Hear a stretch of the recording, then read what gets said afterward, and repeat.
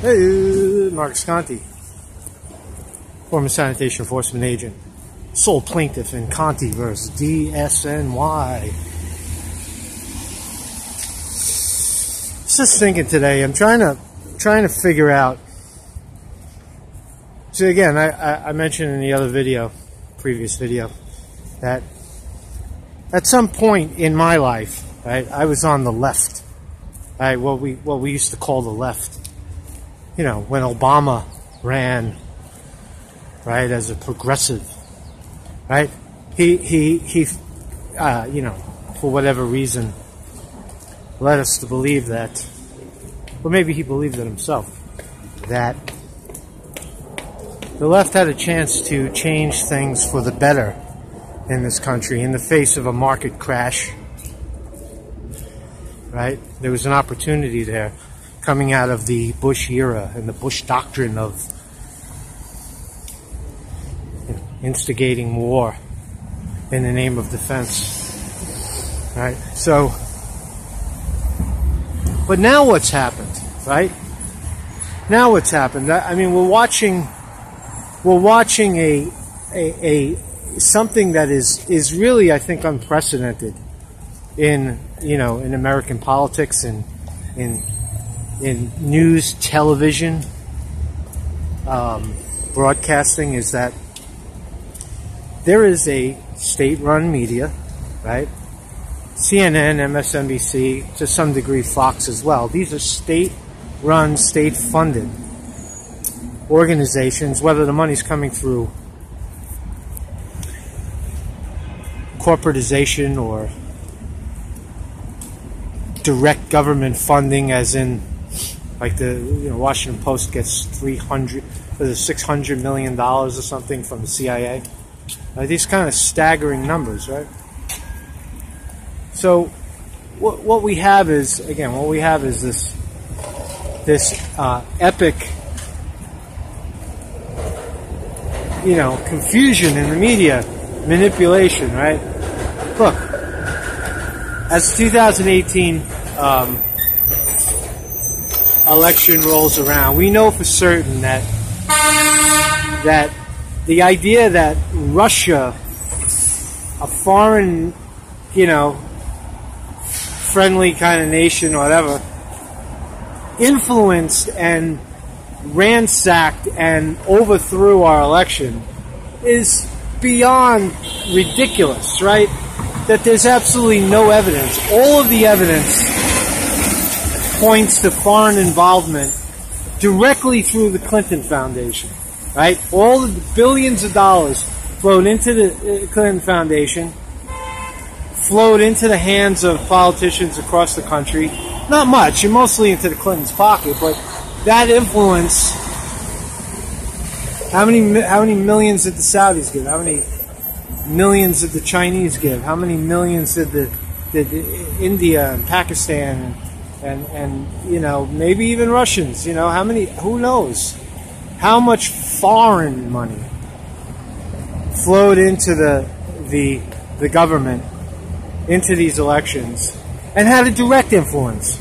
But to say that it was to say that it was exclusively Trump being influenced by the by one Facebook ad now. We're down to one Facebook ad. That's that's that's what's happening, right? There's no collusion. There was no hack. We know that the DNC was not hacked. We know that the DNC cheated Bernie Sanders, and someone inside, a brave soul, probably Seth Rich, right, murdered, right, probably somebody like that leaked it. It was a leak. They threw it on a hard drive and dumped it on WikiLeaks, right, so that everybody knew about it, right. But but the media is is still trying to pin in the light of 17 children getting shot. Right? What I'm trying to say is when I watch the when I watch the news, I wonder how people can how how thinking logical intelligent people actually go along with it and, and still believe the Russian that that the Russian somehow the Russians became a villain and that they're responsible for all of this and that the Democrats are are are clean, squeaky clean, like they're not responsible for anything. How do, how do we believe that? How how do people is it just me? Is it is it just me, you know? I mean now it leads me to the it leads me to another point, which is when we watch what we're calling leaders, politicians, go on uh, mainstream media. It occurred to me because I watched a, a, a clip this morning with Jill Stein on uh, on um, MSNBC, and they were accusing her of taking a that that a Russian took out a Facebook ad and promoted her, and that's Russian collusion, right? First of all, there's nothing illegal about it's free speech. It's First Amendment. Anybody in this country who wants to buy an ad and support a support a political party or support anything is is technically allowed to do that, right? With the Clintons, it was different. That's illegal. What they're doing is they're they're taking money into a, a fake foundation and then they're they're laundering it into the political process, selling influence, direct direct correlation between taking foreign money and having it influence our elections. The Democrats are 100% guilty of that. To cover up, the FBI covered it up, the CIA covered it up, right? Nothing to see here. No, no, no. Russia, right? So, but what I'm trying to say is when the politicians go on television, right? For example, Jill Stein, strong, strong voice, right? but is it strong enough? Right? You, what I what I'm trying to say is why are why do all these politicians clamor to get the attention of CNN and MSNBC and Fox when we know they're all full of shit? When we know that they're all bought and paid for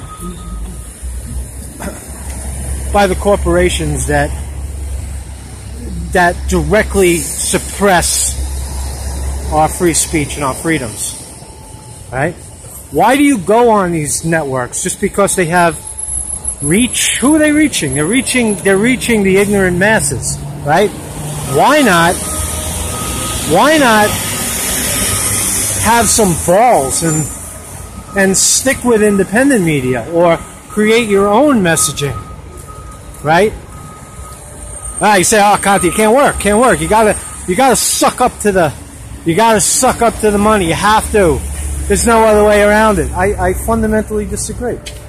I think guys like, you know, the, the, look, the platform is already set.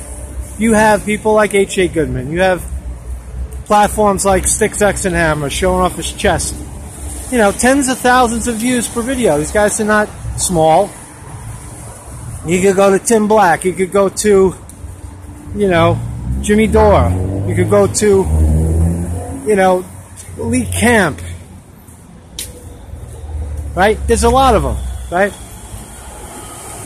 The Sane Progressive, Debbie Lusignan. Go talk to these people, you politician.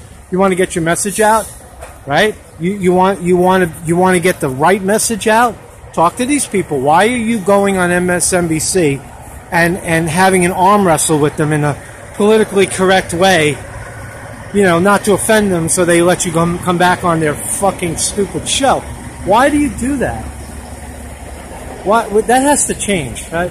See, this is the problem, is that this, the one thing Trump is accurate in saying is, and proved it to be a fallacy, is you have to be politically correct and you have to play patty cake with the establishments that are corrupt establishments, right?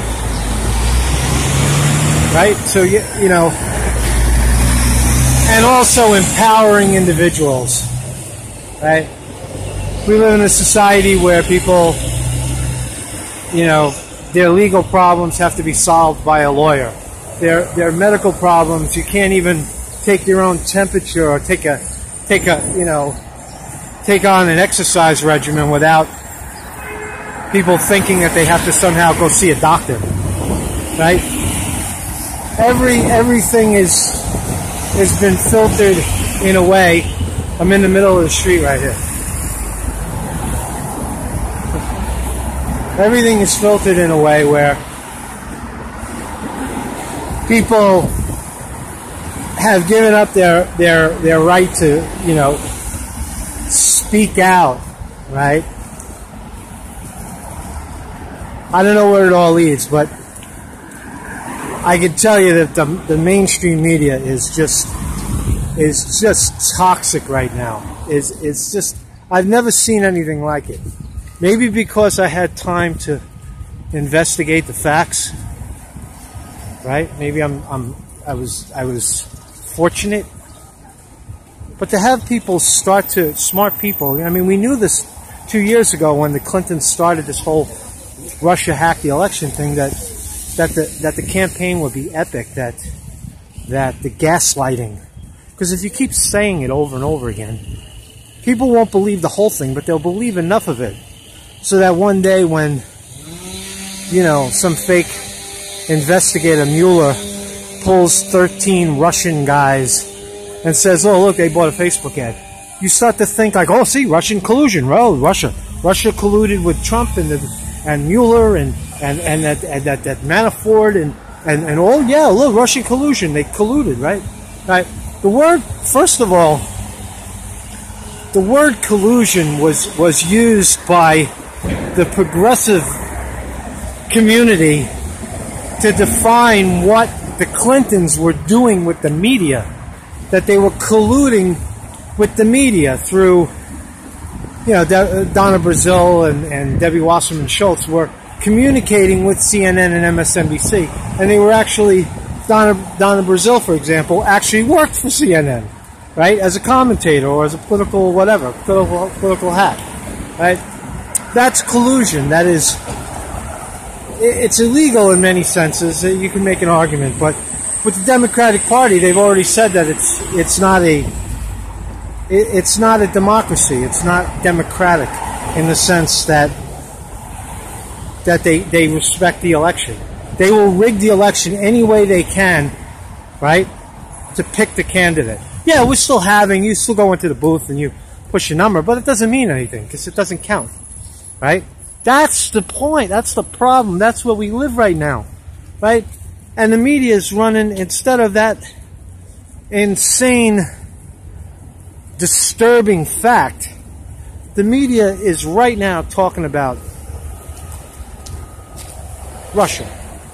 That some jerk off Russian guy bought one Facebook ad or or even a million dollars or whoever who cares? Nobody listens to that shit anyway. And that's what influenced the election right?